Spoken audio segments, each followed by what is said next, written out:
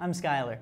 There's a sneaky little workaround to add a image signature to your email on iPad, and I'll show you how that works. Go to Mail and compose a new message. Your standard signature would show up if you had one. I'm just going to type in what I would like to be my signature.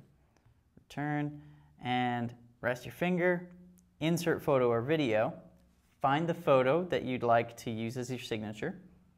Use this one. It's way too big, but just as a demonstration.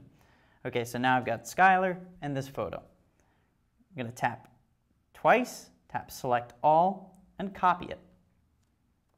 Now, go to settings. From settings, mail, contacts, and calendars, signature, and find the place you'd like to place your signature, tap twice, and paste. Now, I've got my name and the image as a signature. Go back to Mail. I'm going to cancel this one and create a new message. There we go. My name and the image.